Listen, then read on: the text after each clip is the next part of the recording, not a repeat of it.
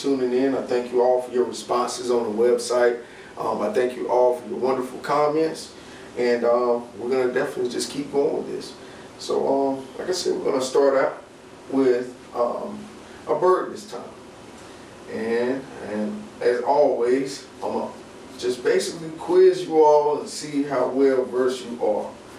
So I'm not even going to say what this is, but I will give the answer online to the website.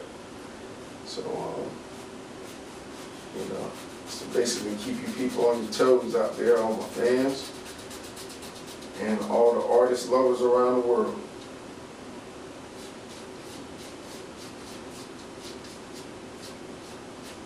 One thing I love about birds is, is that they're always in the act of something. They're always doing. And uh, they always have plenty of excitement with them as well. So a lot of the pictures that you see um, throughout history of birds, they're always doing something incredible And as you can see now, uh, what I'm doing is, is basically just light, lightly putting down my foundation. You, know, you don't have to make a solid commitment in putting down something so permanent so fast. Take your time. Take your time and just brush in some nice light strokes. And if you have to draw it out, you know, draw out everything in a nice pencil. do that lightly as well. Um, I've been painting and airbrushing and drawing since I was, well, I've been drawing since I was two years old. And, um, you know, that's just one of the special things about art. You know, you can start at the youngest age or the oldest age. I'm still learning stuff. So you know, don't for once think like, you know, I'm this guy that just has it all together. No, I'm still always trying to reinvent myself and learn more things. So I urge you all to do that as well.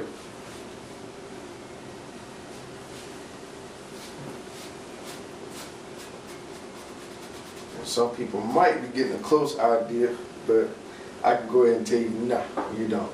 You don't know. Now you might. And I can guarantee you some of you people are still going to get it wrong.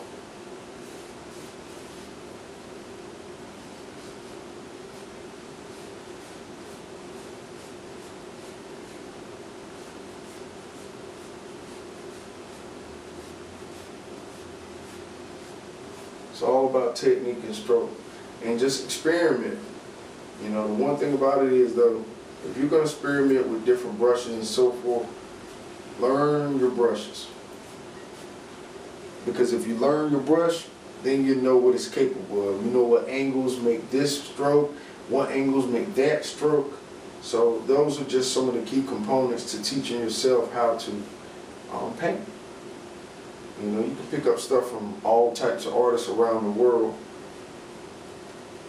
but I promise you, if you try them all yourself, who has to teach you anything? You know, because basically what teaching is is just um, learning something from somebody that has already put in the work for you. They know all the shortcuts. They are, they know all the little um, ways to make something a lot easier for you in the art world. Now, saying that, that don't mean either not to go to school because, you know, going to school and going to college and further your education, oh man, that you can't trade that for nothing. I don't know anybody yet that has regretted that. Definitely get an education out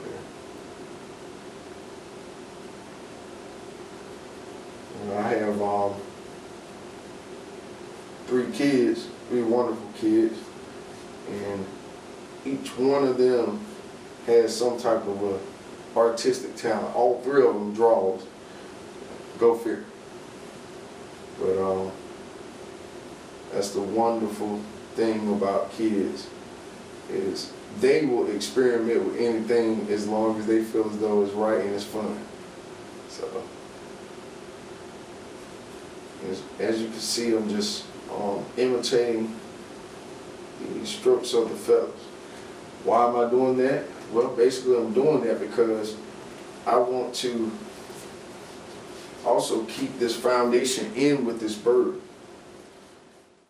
Um, as you can see, I've already worked on some of the background and now I'm actually go into some color. Um, one thing you gotta always remember, step outside your own boundary. You know, don't worry about uh, is this right or this wrong. Experiment. You won't know if it's right or wrong until you do try. So, you know, and when it comes to art, hey, you know, sky is the limit. So, you know, make sure all your strokes are, are, are vivid and light. Remember, don't commit too strongly to it. Because if you do that, then committing too strongly to it is hard to clean up.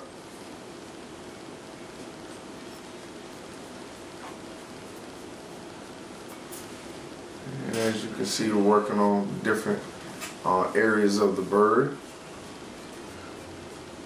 Some of the different patterns of the ways wings are made. And like I said, to find out what bird I'm actually painting, go to the website artmindsoul.com and um, you'll be able to find out where I found it from, the interesting facts about this bird, and um, maybe some people already know. So the ones that do know, also visit the website and let me know what you think.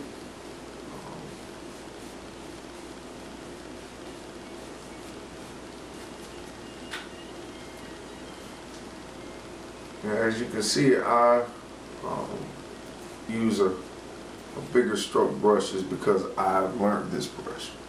So, you know, you might have to try something different. You know, figure out what brushes work for you the best so that you can get what you're looking for out of it, each stroke.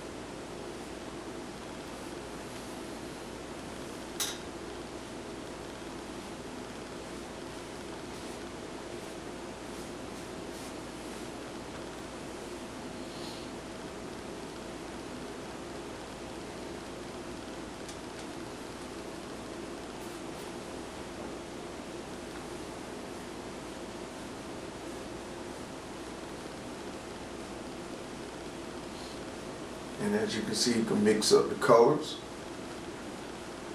using a, a brighter orange here. Just add some contrast into the wings.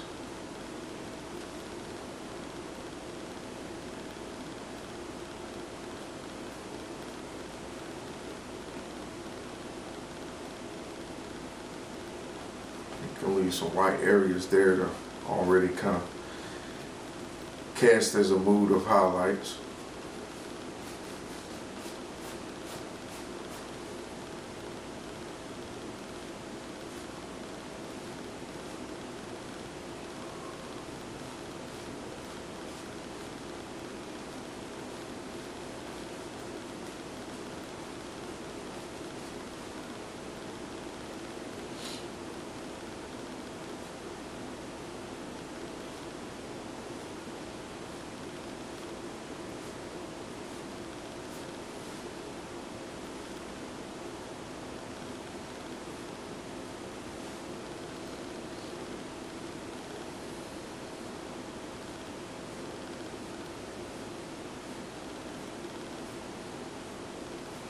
See, Started with putting some detail in, and uh, basically what I'm doing now is edging out the bottom area of the bird uh, around his legs.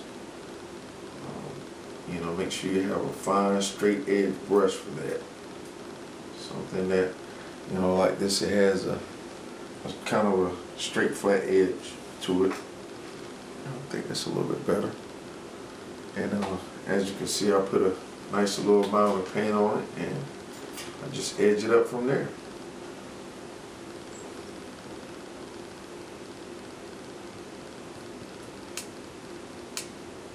Even with edges, start light and then end up dark.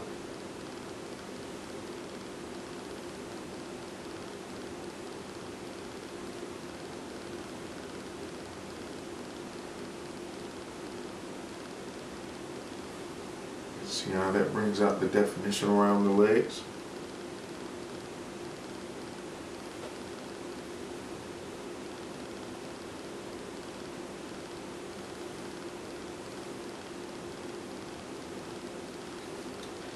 And just for a little bit of tidbit about me, some more info about me. Um, I've painted a little bit of everything. Um, I currently now do a lot of um, home interior design work um, to where I go in and do wall murals and things of that nature. So there's a lot of stuff that um, I've, I've picked up over the years um, just by trying and experimenting things. So um, you know, never limit yourself and never think that you can't make money now without a agent and all that other stuff. You know, I don't have an agent right now currently. Um, but, you know, all those things do come in handy. So never exclude anything, always do your research on it, and then try it out for yourself.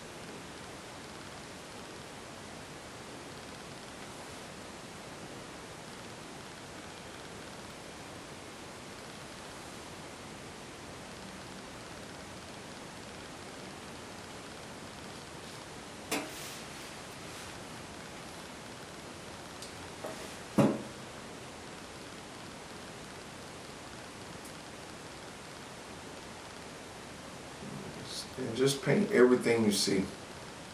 You know, that's the best advice I can give to anyone about how to make things look real and so forth. If you see a shadow somewhere, paint that shadow in there. But try and imitate exactly what you see. Don't throw in your own additives and stuff like that because recreating the wheel when you don't have to only hurts your, your detail.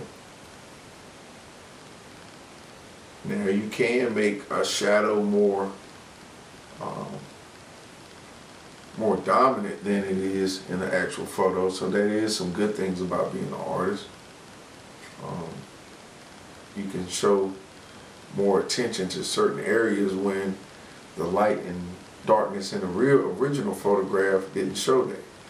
So those are some good things. I think um, of doing a lot of painting on um, presenting itself to artists to do. But a lot of artists try not to do that.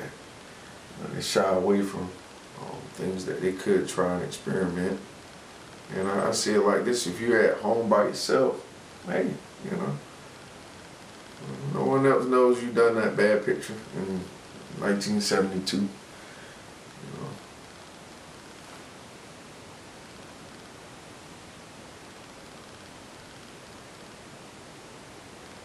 See even here, in some red and know, give it more of a shadow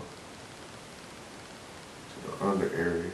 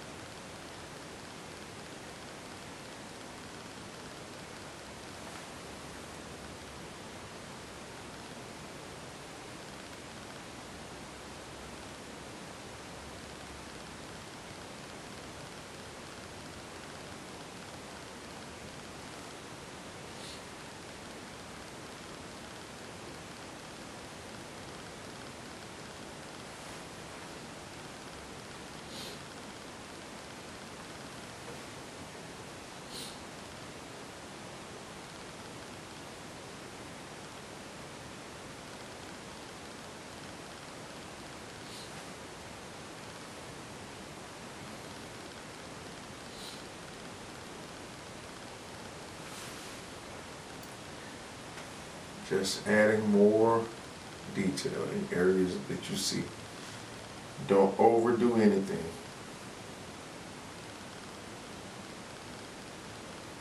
My advice is I would rather underdo it than overdo it the first time. Because if you underdo it, you can go back and add.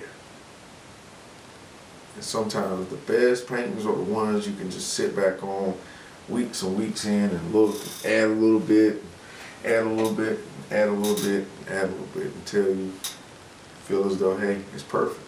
This is what I wanted. So don't never try and force yourself to rush to finish anything for anyone. You know, if it's a client you're doing a painting for and they're trying to rush you, and just ask them, hey, would you rather come out perfect and we not rush or would you be rather rush and hope that it comes out the way you want? And it's still going to take more time to fix. So it's always best to do it right the first time.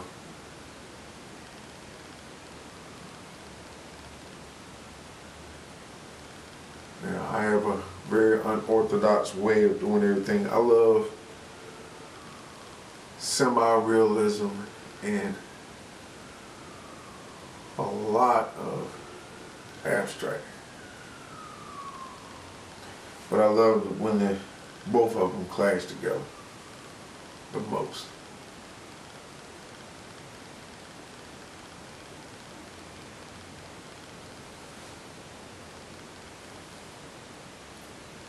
I can't wait to y'all um, find out what kind of bird this is a lot of people are going to be shocked and be like, oh man, I thought that was a. And I can tell you all this it's not a flamingo. So uh, just make sure um, if you're thinking about what kind of bird this is, X out flamingo. Nope.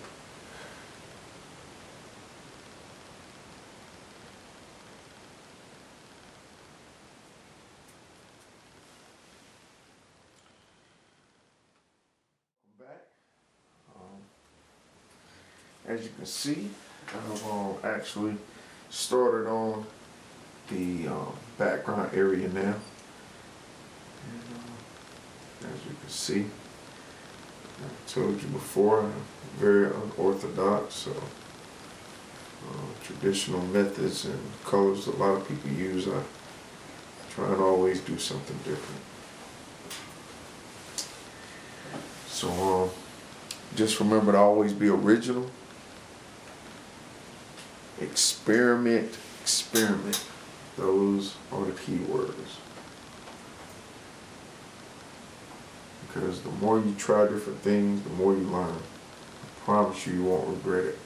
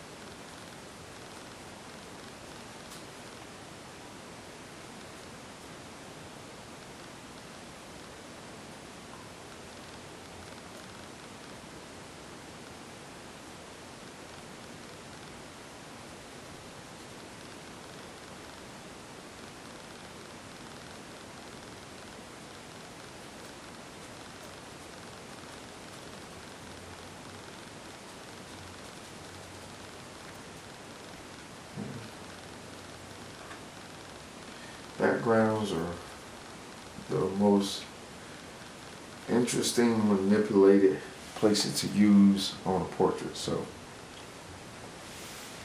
always take a gamble in that area just to see what comes about.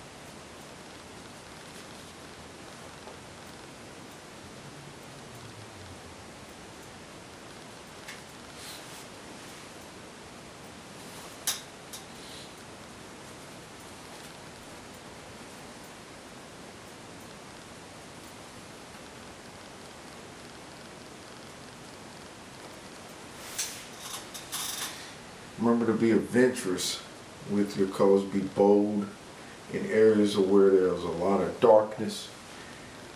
Um, this will help carry you to your next famous idea. And yes, I said famous. And the reason being is because, you know, you can be famous in your own. Good to have the worldwide attention and accolades, but I do believe we can all be famous right in our own home, amongst our family, our friends. You know, you get more enjoyment out of it that way.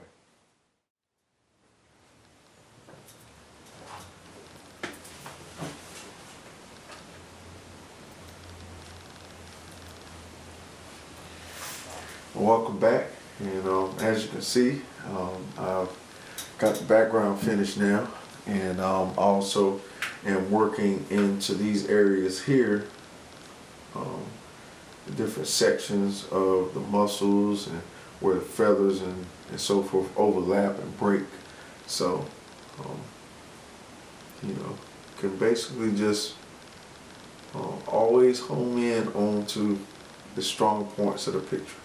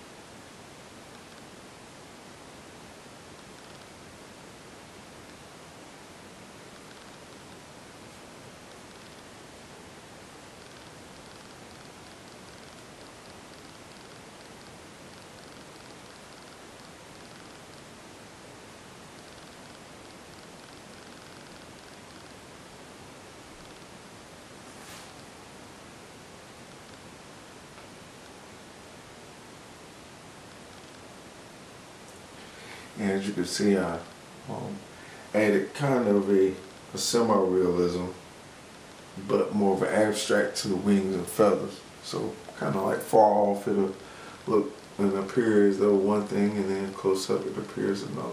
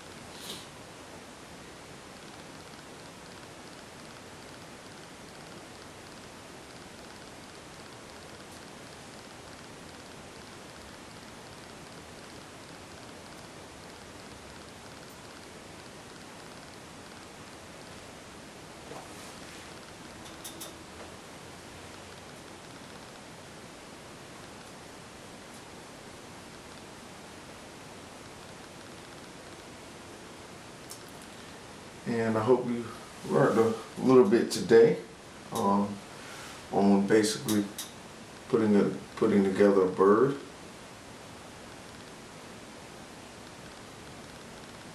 Remember what kind of bird? You got to go to artmindsoul.com to find out.